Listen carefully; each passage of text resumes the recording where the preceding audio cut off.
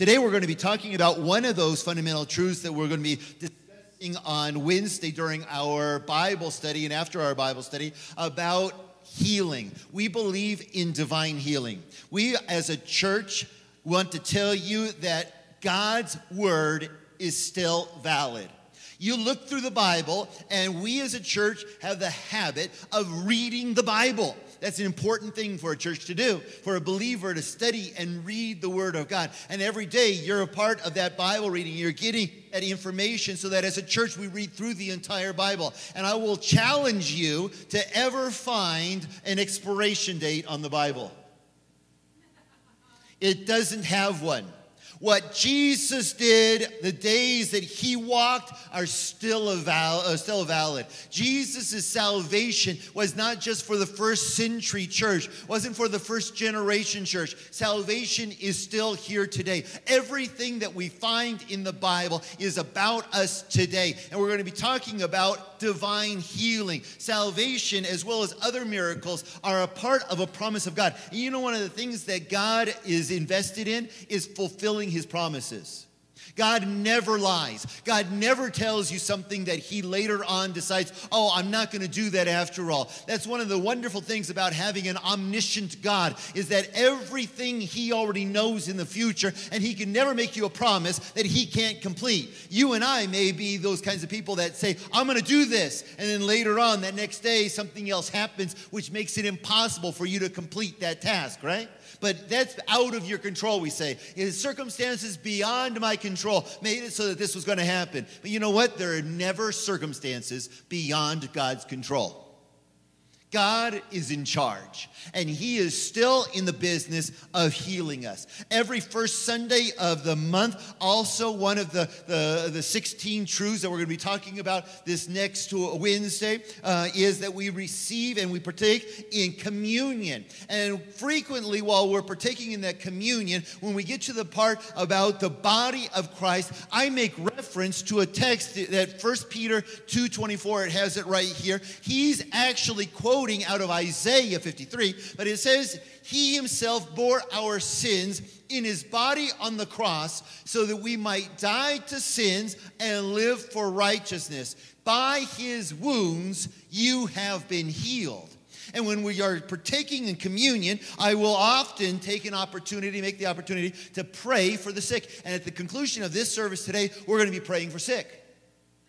But we want to understand what God is doing amongst us and why He still heals. You know, some people say, oh, He heals me so that I can go out and enjoy another round of golf. He's healing me because I get to do uh, this other thing. We're going to be talking a little bit about that in just a few moments. But I want to note something for you here. In Peter's verse, in verse 24, he links two things together. These things in the heart of God are forever linked. And I want to remind you that the greatest thing, greatest miracle as far as God is concerned, is when you move from spiritual death to spiritual life. Sometimes we think of some miracle, some healing as the greatest thing. And I will tell you that I have had opportunity to watch people who have never walked in their life get up and walk for the first time. I have watched the surprise on the face of a young man who had never heard anything in his life, born deaf, hearing for the very first time. I know what that surprise, that, that wonder is all about. But you know, the greatest wonder, the greatest thing that we could ever receive is the fact that we are forever saved and we have been moved from spiritual death to life. And Peter links these two together. Notice when he decides to quote Isaiah, he says at the end, By his wounds you have been healed. But in what context? Notice it's in context of salvation, it's in context of relationship with Jesus. And look what it says He himself bore our sins in his body on the cross so that we might die to sins and live for righteousness. The reason that we are healed is that we might live for righteousness. Is not our healing so that we can go out and be the greatest drug dealer ever and, uh, and uh, cause Chapo to uh, uh, feel like he had lost complete control because we are there now. No, it's because God has a plan for us. So let's go to our main text today. We've been reading in the book of Acts, and here we are in chapter 9, verse 32. It says, As Peter traveled about the country. Now, I have one I have a question here. What do you think he was doing when he was traveling about the country? Was he just on a sightseeing journey? He was out there taking pictures. He said, Wow, look at this picture. Wish you were here. You know, he was on vacation? I don't think so. There's only one reason that this is part of Scripture, as far as my mind can realize, and that's because Peter had heard Jesus say, Go and make disciples of all nations. He was going around preaching the gospel. He says, as Peter traveled about the country, he went to visit the Lord's people who lived in Lydda. There he found a man named Aeneas who was paralyzed and had been bedridden for eight years. Now it says he found the man. Now, how do you find a man that's been bedridden for eight years? Well, you have one of two choices. You can go to his house, or the man can show up where you're at. I tend to think that it's probably the latter. As Peter is going around, you know, it would be impossible for him to go in and visit every single household. But as he is going around, he begins to preach as he's ministering in the city there and in the church there. And he finds this man who'd been bedridden for eight years. And as Peter said to him, Jesus Christ heals you. Get up and roll up your mat. Immediately, Aeneas got up.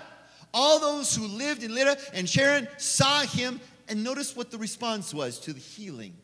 I told you that we're going to be elaborating on the fact of salvation being a key element in our healing. And why can I say that? Here again.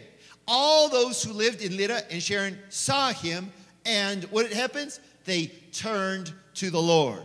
We're going to go on reading. In Joppa, there was a disciple named Tabitha. In Greek, her name is Dorcas. She was always doing good and helping the poor. About that time, she became sick and died. And her body was washed and placed in an upstairs room. Lydda was near Joppa. So when the disciples, who? The disciples, heard that Peter was in Lydda, they sent two men to him and urged him, Please come at once. Peter went with them, and when he arrived, he was taken upstairs to the room. All the windows, uh, all the widows, not the windows, the widows stood around him, crying and showing him the robes and other clothing that Dorcas had made while she was still with them. Peter sent them all out of the room. Then they then he got down on his knees and prayed. Turning toward the dead woman, he said, Tabitha, get up. She opened her eyes, and seeing Peter, she sat up. He took her by the hand and helped her to her feet. Then he called for the believers, especially the widows, and presented her to them alive. Now, notice what it says next. This became known all over Joppa. And what happens? And many people believed in the Lord. Many people believed in the Lord. Peter stayed in Joppa for some time with a tanner named Simon. So here we see what Peter is going around doing because we have signs and wonders. Matter of fact, Jesus promises these things will accompany you as we go around doing what God has called us to do. Not what we want to do. Not going out and saying, you know what, I need healing because I have tennis elbow and I want to play more tennis. Now, don't get me wrong, God has nothing against tennis. But we have to understand the purposes of God. His highest goal is always towards salvation. Now, don't get me wrong, He loves us so much that He wants to heal us. And He wants our elbow to get better, for sure. But notice how frequently, in text after text, we are going to have the connection of divine healing with salvation. Because God is showing himself strong amongst us, amongst the world, and they're going to see something and they're going to say, I want Jesus as well. Because God's highest priority, the reason why he heals you rather than just taking you home, Wouldn't that be wonderful? We all pray every time you get sick, God, just take them home and they drop dead. Wouldn't that be wonderful? You see a lot of people coming to know the Lord that way? Go to that church. If you get sick, you'll die. Everyone in the world would be saying, Wow, let's run over there, you know? The reason for our healing is a testimony to the rest because God wants everyone in the world. His plan, His will is that none perish, but that all come to repentance. This is one of the reasons why divine healing is available to us today because He is still in the business of showing Himself strong. Now we're going to get into a, in just a few moments into the reality that there are times when we pray for sick and they are not healed, and we're going to answer that question in just a few moments. But if you notice here, Peter was traveling around. His purpose was preaching the gospel. One of the things that the church has to have as a highlight and a point of, of reference always in their lives is that I live to preach Jesus. Paul did not have a problem with healing people. He would lay hands on people. He would have a handkerchief go away and they would come and, and have their divine healing instantly. Now, what was that saying? But Paul also said, For to me, to live is Christ, and to die is gain. Everywhere he went, his highest priority was to win the lost, disciple them, and make them into people that could represent Jesus on earth. The reason why he didn't have a problem healing people and he didn't lack faith is because he had the order correct. God's plan is a plan of salvation. The highest goal of God is that your neighbor, your, your coworker, your fellow uh, classmate, if you're in school, all of the people around you, your family, your friends, everyone come into relationship with Him. And the, to that end, He even offers divine healing. Divine healing. And we're going to get in just a few moments more detail. But here, Peter met a person of faith. How can I say that? Because I don't believe Peter visited him in, in his house. It says that he's been in his bed for eight years. Now, I want to tell you if you've been sick for eight years, what will that mean? You've probably tried everything. Remember the story with Jesus in his day? There was a little old lady who'd been suffering from bleeding problem for 12 years, and she snuck up behind Jesus. You remember the story. But what does it say about that lady? said that she had spent all she had, and rather than being better, she had grown worse. That's what happens when we don't feel well. We can exa- we can we could use all of our resources to try to feel better. And I have to imagine in eight years, this guy who had been bedridden had had all of his friends come and say, "Oh, I heard of a new doctor. Maybe he can do something for you." It's just natural, isn't it? Because when you have friends that love you, family that love you, they're going to come along and say, oh, maybe this will work. And he's tried every new medicine out there. He's gone to every specialist as well as all the quacks out there. That's what we do, don't we? And then he hears Peter is in town. And Jesus had healed all of these people. And now we're seeing powerful signs, even with Peter. And this guy who'd been bedridden for eight years finds his way to where Peter is. And Peter looks at him and he can see, you must have faith. How would he know that? He bothered to get out of bed and show up. He was there. And Peter sees him. He recognized that man. You know what? I have one I have a question for you. Why do you think God didn't heal him the first day? Isn't it possible that God heal us the very first day we get sick? It is. Well, I could go on to another question. How about our, oh, uh, the wonderful story, the joyful story of Job. We're reading it right now. Why is it that God didn't intervene and heal Job before the sores broke out? Why didn't God intervene and heal before all of these other calamities that befell Job? Wasn't it because God had a greater plan than just with Job. He wanted to show something about his nature to not just Job, but to other people. And we, to this day, are still reading his story. We are re- understanding that God wants us to not just have head knowledge of him, but to know him personally. And that interaction, that encounter that Job had with God was worth all of the suffering that he had gone through. And the same thing I could say about this man. And yes, he is eight years suffering, paralyzed. He's in bed for eight years. And you could say, oh, that's terrible. But why would God have waited eight years? Because in eight years, everyone in the community knew him. If God had come into the rescue the very first day, no one would have said, Oh, wow, God is sure glorious. I want to know him too. No, this guy, Aeneas, woke up that morning and felt a little sick. He prayed, and now all of a sudden he's 100%. You think the whole community is going to come to know Jesus because of that? There's times when we pray, I said I'm going to get to why sometimes we're not healed.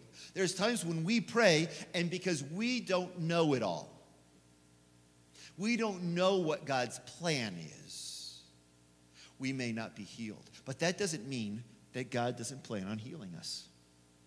I would propose that perhaps this man had already prayed every day for eight years.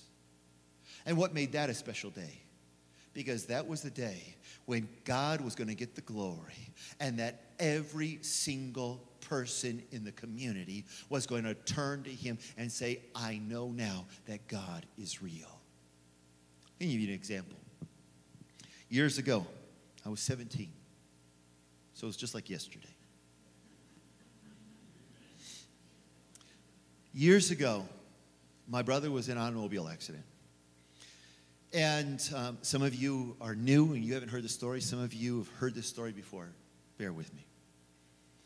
And that accident broke several bones in his body. Amongst that was his spinal column. And uh, he was put into a wheelchair. That first couple, that first week, week and a half, he was in traction in, in a situation at a special hospital and on this, this bed that rocked him back and forth to try to keep him from getting bed sores. And at 17, I knew these aspects of God. And I was negotiating with God because I was going to go and pray for my brother. I was going to pray that God heal him in that instant. And I told God all of the right things.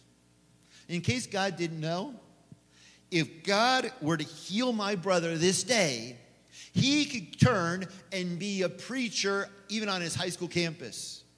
There would be revival in all of our city. I, I, I was very convincing to myself. I marched myself in there having convinced myself this was God's absolute plan, right? And I laid my hands on my brother. I prayed for him. And you know what? Nothing happened. And I went out of there really frustrated, angry at God for not doing the right thing. Isn't that how we feel sometimes?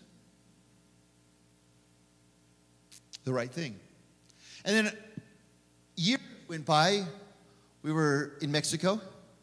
And I once again had an opportunity. There was a young man in his early 20s that was brought into a crusade that we were doing.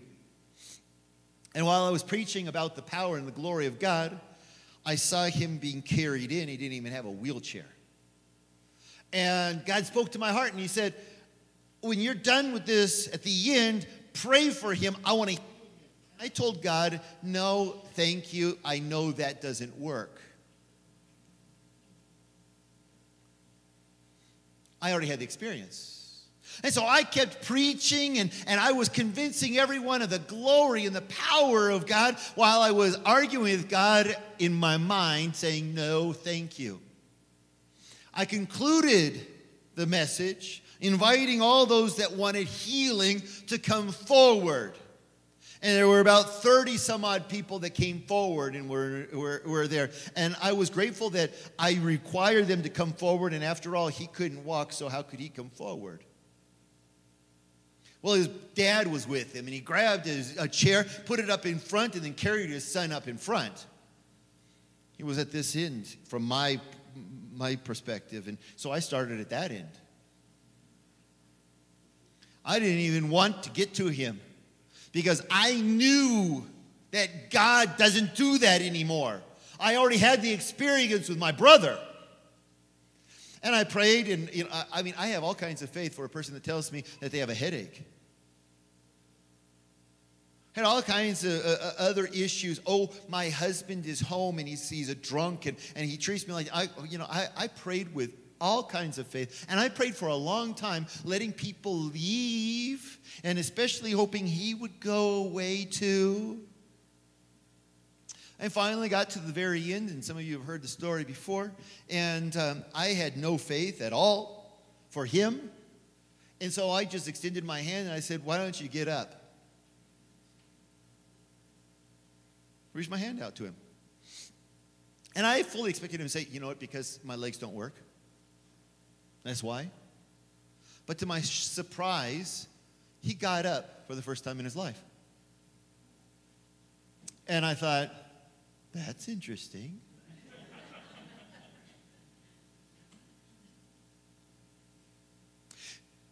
A few months later, I had opportunity to visit the church that was hosting that event, and, and I, I saw him walking along the road, and, and I, I said, Beto, why, why don't you get in the car? And, and, and he says, No, I, I'm out here walking. This whole community needs to see what God does.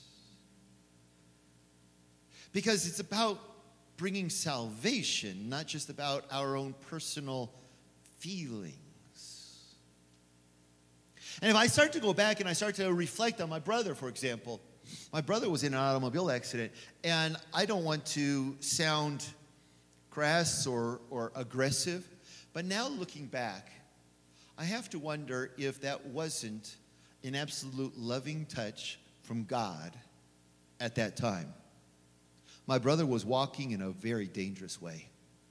He was getting involved in drugs and selling drugs. I have to wonder if God didn't put him in one spot and just simply say, Because I love you. Divine healing is about love. We're going to get there, and, and, and I, I'm starting, even in my mind, to think, well, for the first 20 years, my brother didn't want to have anything to do with God. But now he's come to the Lord. And I'm and, and, and you know how long of a process this would have to be for me because this was such a uh, traumatic event in my life as a teenager to pray with all the faith and then him not get up. And now I'm coming back around and I'm saying, I'm praying for him every single day. Because perhaps now, after more than 30 years in a wheelchair, Everyone knows. He's come to know the Lord. He's going to live for Jesus. Maybe now is the day. And this is what had happened here with Aeneas. We, we see that the reason for Aeneas' healing is that God loves. God loves Aeneas, and he loved the city. He wanted to do something that brought salvation, brought an understanding of who he is to everyone. And this is one of the key elements of salvation, but of healing. The reason why God does the things he does is because he wants us all to know him, to know him. You know, there are times in our lives that we're not healed and we don't understand the reason. And perhaps it's because God knows tomorrow more than we do. Perhaps it's because the next thing that's going to happen isn't how we plan it out because we don't have control. Remember, I just said I can make you a promise, but sometimes I break it because I have circumstances beyond my control tomorrow. But God never has that. He knows what tomorrow has, He knows what tomorrow brings. That means that what do we do? We pray for their healing now because we don't know. But we never give up.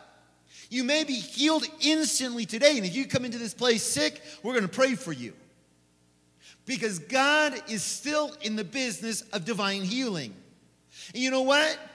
I have seen and we have experienced it. There's been times because every single week, week in, week out, on Wednesday afternoons in our Bible study, I ask for prayer requests. And there is one person, Nancy, who reminds us of the same person over and over and over again, it seems like, but actually they've changed. Because one person that was over and over and over again after three years was healed. Why, wasn't, why didn't God heal at the beginning of the three years? I don't know. But I know God knows everything. And His timing is perfect. And so she continues to bring up as faithful as, uh, as uh, we can be. And we say, We're going to pray, we're going to pray. you know what? So faithful is Nancy to remind us of the same people that when on the rare occasion she can't be in Bible study, we still remember to pray for her prayer requests because they're there every single week. That's who we need to be because God is the one in charge. God loves us, He knows everything. And in His love, He also allows times of suffering, in times to put us in our place, times to get everything else in order, because God wants the world to come to know Jesus. You know, even in Jesus' day, there was a time when Jesus Himself did not do many healings. In Matthew 12, at the beginning, he had already done two miracles in this chapter. And the people of the city come to him and they say, Show us a sign. You know what? Jesus looked at him and said, Obviously, you're not going to believe anything. All you want is a spectacular thing, but it's not going to transform you, it's not going to change your life. I'm looking for people whose lives are going to be forever changed, transformed, not just people who are going to go back out and play another round of tennis or golf. Again, I don't have a problem with those two things.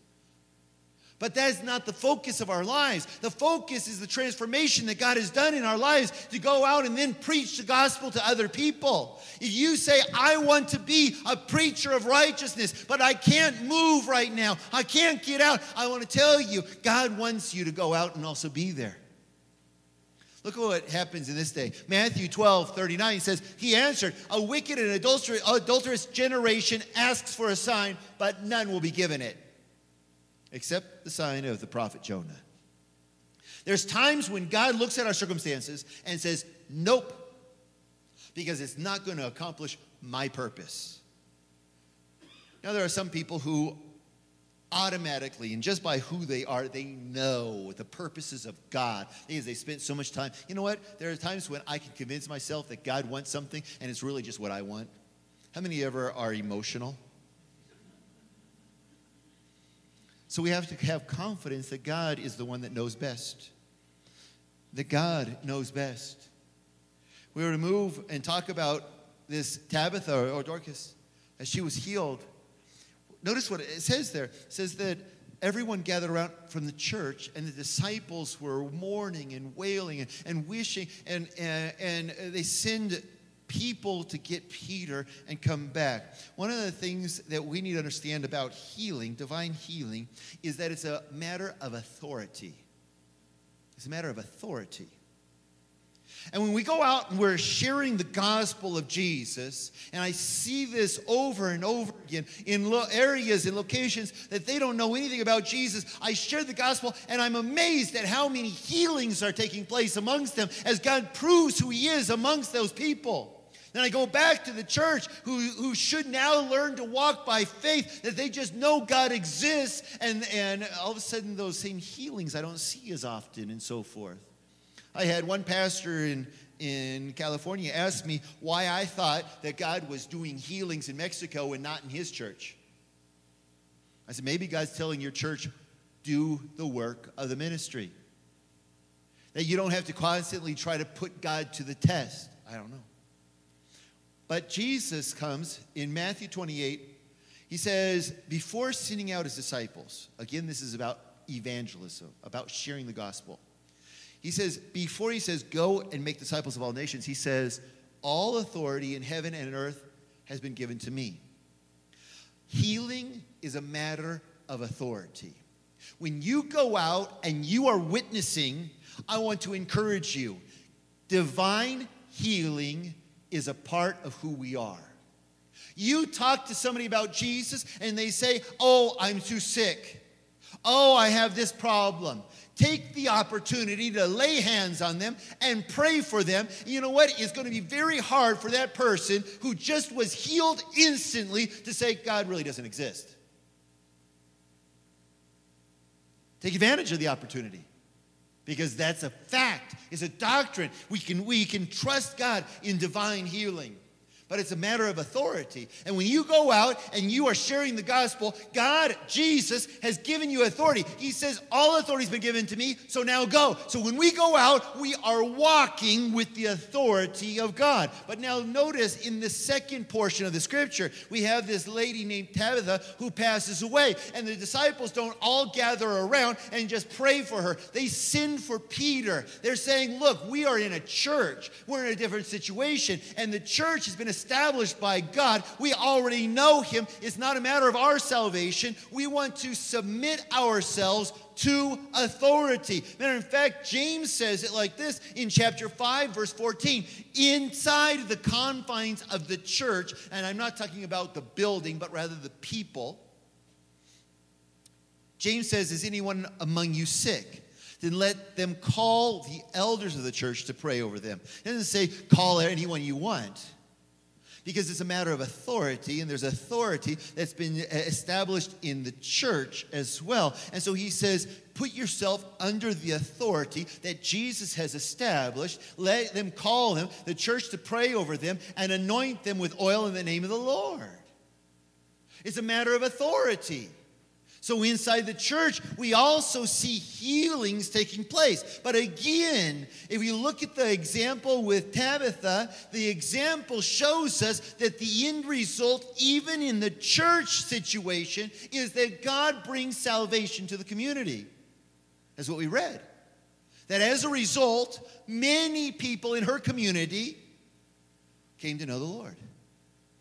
The reason why we are healed the health, if you will, was something that God wants to do in the city, and salvation is the greatest healing you could ever have. God doesn't just heal one. You know, there's been times when we've had uh, uh an invitation for people that needed healing to, to come up front, and, and, you know, all of a sudden 15 people are up in front, and I say, oh, well, you've overwhelmed God. He couldn't possibly do that much. And people laugh because he can. There's nothing that overwhelms God. And when He does one thing, He doesn't want to do just one thing. He understands the ripple effect, the causal, uh, uh, trial and causal effect of everything that happens. When one is healed, this will happen, that will happen, this other thing happens. He understands it all. That's why He speaks healing. Because His goal is to bring salvation, is to bring salvation. In Christ, we move from death to life. You know, our health is not for us just to make our own plans. You know, I want to get better so that I can go and, and take a cruise to Alaska. I want to get better because I've always want, dreamt of, of learning how to surf on the, uh, in Maui. You know, uh, uh, and, and don't get me wrong, all of those things are great, but God can trust us. There's some people, they go to Maui, they learn to surf, and they never mention Jesus once. There are other people that end up in Maui, and like Peter, everywhere they go, they're preaching the gospel. Who do you think God's going to trust with the gospel? The ones that are speaking. So, why do you want to be healed? Is a key element, I believe, in this as the church member. Those outside the church, that's another thing to prove God and who He is. But within the church, why do you want to be healed? Why do we want to be healed? Oh, so that I can sleep better at night. Okay. And I'm not saying that God doesn't care about those things. But I do know that there's one thing that God cares about above all others. That's the salvation of everyone that you know. That they would come into re- relationship with Him. If you aren't evangelizing today in the church, you can't tell me that if God were to heal you, you'd all of a sudden start. You know, you go out and you start telling your doctor about Jesus today, church member, guess what? there's nothing, no sickness is going to be able to hold you back. And you may have all of these doctors who have got, done all kinds of confirmed studies showing, proving just how incurable you are. You know what? God just shows up. We have a young boy, not part of the children's ministry, but is related to the children's ministry. And um, Acre is about, well, about a year old. About a year old. And um, his brothers, his family, children, come to the children's ministries on, on Saturday with Maida. And Maida, along with Vince, has gone in, and because this boy, it, it, he's still going through studies, tests. Well, it looks like he has cystic, cystic fibrosis and with climate with the climate or the, the weather changing and, and bronchitis and all of the things that, that go hand in hand with having a stiffening of the lungs his prognosis isn't very good at all and his mother his grandmother who lives there in the house uh, they don't come to the church and i told Maida just go in and pray for him. Just go in and pray for him. You know, when the doctors come back and say, Boy, I, I guess we missed that diagnosis, go in and tell the parents, go in and tell the grandparents about the glory of Jesus. Now, we're not the ones that heal, it's Jesus that heals. But if we understand why he's doing what he's doing, because we know, not because of our own ingenuity, we're not trying to manipulate, because Scripture tells us the highest priority of God is the salvation of everyone. What he does, the reason why he sent Jesus born in a manger, the reason why Jesus lived and died on a cross. The reason why Jesus rose from the dead, the reason why the Holy Spirit came on the day of Pentecost to, to equip the church, the reason God does everything is to bring salvation to the world, to convince us of our sins, and that we would walk in relationship with Him. Jesus still heals and works miracles today. Question is not whether Jesus can heal us but rather whether we're ready to work in the harvest. Because that's why Jesus is going to heal us. It's to bring salvation. It's to bring others into relationship with Him. Notice right here, this last text in Matthew chapter 9, verse 35 and following. It says, Jesus went through all the towns and villages, teaching in their synagogues, proclaiming the good news of the kingdom. Notice how he connects it again proclaiming the good news of the kingdom, and healing every disease and sickness. Those two are forever connected. And then if you read on in verses 36 and 37, it says, When he saw the crowds, he had compassion on them. Jesus still has compassion on us. When we are sick, he still has compassion on us. The reason why he heals us, he still has compassion on us. But notice what he says. He had compassion on them because they were harassed and helpless like sheep without a shepherd. Then he said to his disciples, The harvest is plentiful, but the workers are few. He was out preaching the gospel and healing people, and he said the workers are few. Why was he healing people, I wonder? Hello? He says the workers are few. Ask the Lord of the harvest, therefore, to send out workers into his harvest field. And you know, I understood this even as a teenager. I went in and negotiated with God that God, if you do this, all these people will come to know Jesus as a result of healing my brother. I understood the concept, but my timing, and I say this, my timing wasn't right. Because God's timing is always right. You may be here today and you say, Oh, but I understand that. I want to be a part of that. I want to have that relationship too. Great. So God can heal you. Will He heal you? I'm going to believe so today.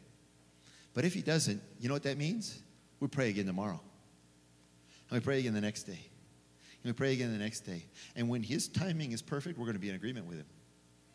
Because God still heals. Bow your heads with me, if you will.